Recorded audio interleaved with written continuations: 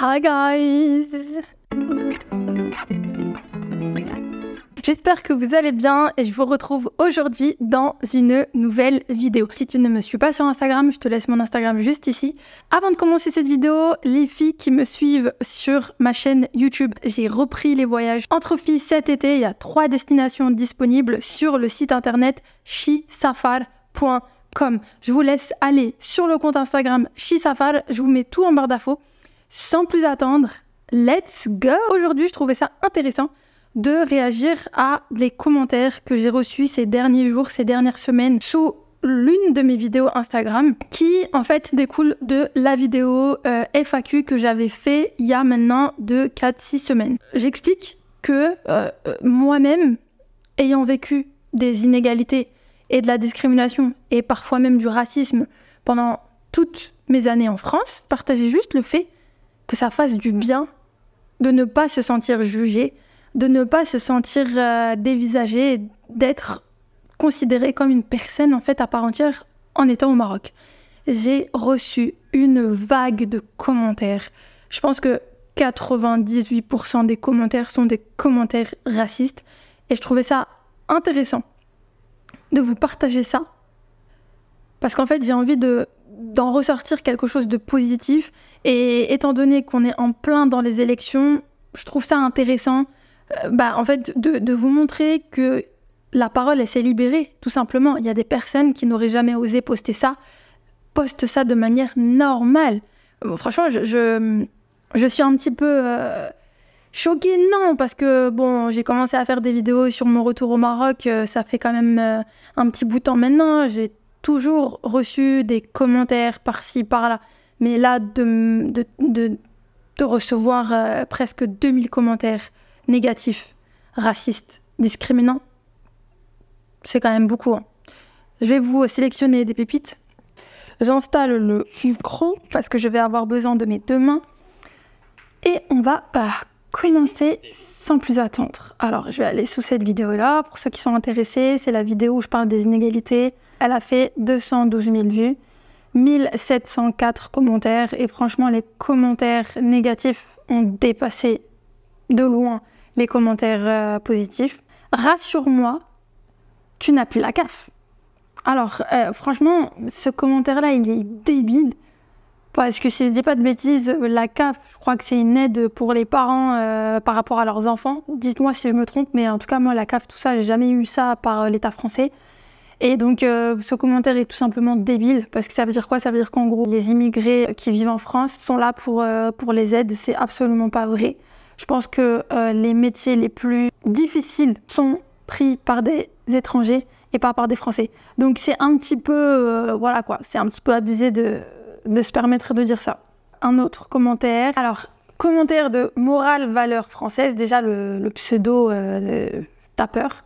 Ça fait du bien d'être chez soi, donc je crois que tout le monde doit rentrer chez lui. Donc déjà ce, commentaire-là, il y a, y a hum, erreur 404 dans mon cerveau. Selon cette personne, je n'étais pas chez moi en France. Là, c'est grave. Là, là, je ne sais pas si vous vous rendez compte, mais c'est très, très grave. C'est-à-dire que tu es né en France, tu as grandi en France, tu as fait toutes tes études en France, te marier là-bas, faire des enfants là-bas, les faire grandir en France. Et parce que j'ai décidé de venir m'installer au Maroc parce que je me sens mieux ici et que je n'ai absolument rien contre la France, parce que c'est mon pays de naissance et et j'aime la France et la France, elle m'a donné tellement. Et n'oublierai jamais en fait que la France, elle m'a donné. Et de voir ce genre de commentaires, ça veut dire qu'ils considèrent que nous n'avons jamais été chez nous. Et là, c'est très très grave. Commentaire suivant. La Lila 132 qui dit Je suis française de mère française, de souche et de père algérien. Et honnêtement, j'ai vécu effectivement parfois du racisme. Mais néanmoins, je mesure la chance de vivre dans ce pays progressiste, beau et riche de culture et, beau géographique. J'ai du travail en toi et ce, je le dois aux Français et à ce pays qui m'ont aidé. Ce discours victimaire n'appartient qu'aux ingrats qui n'aiment pas la France. Alors déjà, ma sœur, euh, faut aller revoir, euh, faut aller revoir euh, ses cours de français parce que franchement là, j'ai les yeux qui pleurent tellement il y a des fautes sur ce message-là. Française de souche. Donc pourquoi en fait justifier que que ta maman elle est française de souche? Enfin, tu peux juste dire française. Et ensuite dire que euh, c'est ingrat de pouvoir dire que j'ai vécu des inégalités et du racisme en France. Non, je suis pas d'accord. J'ai le droit d'exprimer haut et fort que oui, j'ai vécu des inégalités, que j'ai été discriminée, que j'ai été victime de racisme en France. Et de le dire haut et fort, ça dérange en fait, tout simplement. Après, j'ai une certaine euh, franchise. J'ai toujours été authentique et qui dit les choses, et donc euh, c'est pas aujourd'hui que je vais m'arrêter. Son commentaire sert vraiment strictement à rien, à part venir euh, dire que je suis une ingrate. Voilà. Hassan, tu es une ingrate, madame. Continuons. La couette musclée. Alors déjà, le frérot là, le pseudo, je sais pas où il est allé le chercher tellement discriminé que tu as pu aller à l'école, recevoir, recevoir des soins et des bourses gratuitement, incroyable ce racisme. Alors il faut savoir que je n'ai pas reçu des bourses gratuitement, d'accord? Que, euh, il faut, euh, que lorsque tu étudies et que tu, as le droit à la bourse, j'ai travaillé derrière, j'ai payé mes impôts, j'ai participé. D'accord? J'en ai payé des impôts alors que j'étais encore étudiante. Il faut le savoir. Incroyable ce racisme, frérot. Euh, J'étais alternante, je payais des impôts. Donc, euh, bref. Euh, Quentin du Brésil, félicitations pour votre retour au pays. Un exemple à suivre pour des millions de jeunes Français. Donc, clairement, là, c'est rentrer chez nous. Et là, moi, quand je, franchement, quand je lis que des commentaires comme ça, je me dis que ils nous ont jamais considérés comme étant chez nous en France. Et maintenant, avec ce qui se passe, bah, je sais pas ce qui s'est passé en fait. Je vous dis la vérité, je suis un petit peu euh, estomaquée parce que moi, je me suis jamais sentie chez moi en France et je le dis, je le répète et ça va pas changer. Et je l'ai dit dans les anciennes vidéos et je le redis encore aujourd'hui, je ne me suis jamais sentie chez moi en France parce qu'on ne m'a jamais laissé me sentir chez moi en France. Et ce commentaire-là valide et vient consolider mon ressenti que j'ai eu pendant toutes ces années. Je suis bien contente d'être venue vivre au Maroc et je suis bien contente d'avoir quitté la France, mais j'aime la France et personne ne m'enlèvera le fait que j'aime la France. Et on va essayer de trouver un commentaire, la rando, la vie, tout le reste, encore un pseudo euh, qui a été cherché euh, dans la forêt. Du coup, elle s'est installée au Maroc et abandonne tout lien avec la France. Je suis française, déclarée comme résidente à l'étranger, notamment au Maroc. J'ai ma carte consulaire. Ceux qui croient que en s'expatriant dans un autre pays ou en allant vivre dans un autre pays, on va perdre euh, nos papiers, Pleurer des yeux, ça va jamais arriver en fait. François Armand, va au Maroc pour te considérer marocaine et en France, fais comme les Français. Tu vas voir, ça va bien aller. Ah, la bêtise quand même, c'est universel. J'ai pas les mots pour ce commentaire. Ce témoignage m'a fait pleurer. Au moment où j'ai compris qu'elle avait engagé elle-même le processus de remigration, encourage le, encourage le plus de monde possible surtout. Ok, alors, euh, c'est pour ça que j'ai appelé mon podcast Le Grand Retour. D'accord? C'est pas sorti de nulle part. Et je suis contente. Franchement, je suis super contente de voir que mon petit réel de quelques secondes a réveillé énormément de frustration, de haine. Les commentaires sont incroyables. Merci à tous ces gens qui viennent d'ailleurs et qui ne crachent pas leur venin sur la France et sur les Français. Lol. Elle revient dans trois mois. Ça fait trois ans que je suis au Maroc. Philippe Deguerre, je te comprends. C'est comme moi, le petit blanc qui vit à Barbès. Toute cette discrimination, c'est incroyable. Je vais aussi retourner chez moi en France. Non, mais mort de rire. Là, ils me font, rigoler. Ciao, pauvre tchot, pas reste au bled, mets ton voile et ferme ta gueule, merci. Ok. Bref, j'ai. Euh, j'en ai un. J'en ai des centaines, des milliers euh, comme ça. Et les allocs, ça manque pas trop.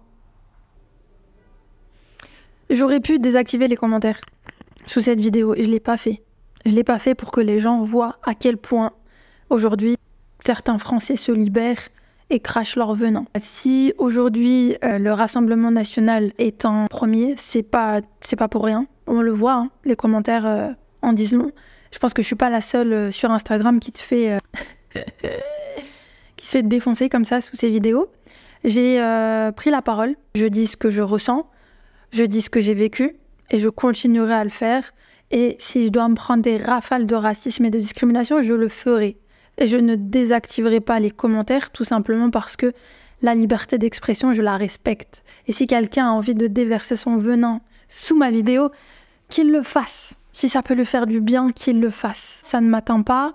Par contre, ce que j'observe, c'est que c'est de pire en pire. Finalement, le grand retour, eh bien, c'est un vrai grand retour. Il y a énormément de, de personnes je pense, qui, qui ont peur et qui aujourd'hui se sentent plus trop chez eux, se sentent plus trop à leur place et surtout, je pense, les parents qui se disent mais comment je vais faire grandir mes enfants dans, cette société complètement paradoxale? Moi, ça m'empêchera pas de vivre, ça m'empêchera pas de continuer de poster mes vidéos sur Insta et, et sur YouTube.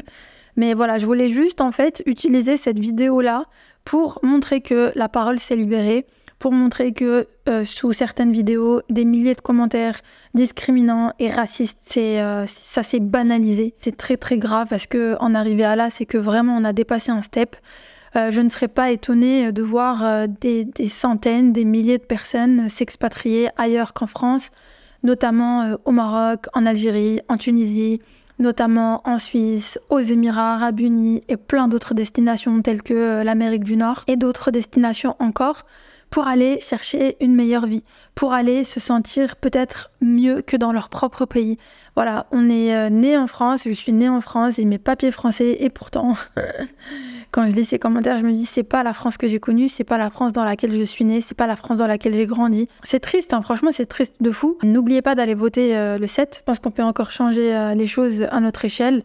Et c'est triste en fait d'en arriver, arriver, à là. C'est triste que j'en arrive à, à, en faire une vidéo, mais pour moi, c'était pas possible. Il fallait que je fasse une vidéo réaction sur, sur ça pour montrer aussi à, d'autres personnes que, que ouais, la parole s'est complètement libérée et qu'on peut recevoir des milliers de commentaires racistes et discriminants. Il n'y en a pas un pour rattraper l'autre, c'est ça le pire, il n'y en a pas un pour rattraper l'autre. Mais voilà, le, côté positif de cette vidéo, c'est que euh, ben on va continuer de s'exprimer, on va continuer d'avancer dans notre petite vie, on va continuer de, de faire euh, les choses euh, à notre échelle. Et surtout, bah, ça ne nous empêchera pas de moins aimer la France parce que c'est la France, c'est pas ces clochards et ces clochardes qui laissent des commentaires sous, sous nos vidéos. D'accord? La France, c'est le lien qu'on peut avoir avec ce beau pays, c'est ce qu'elle nous a donné, c'est tout ce qui nous a permis d'être qui on est aujourd'hui.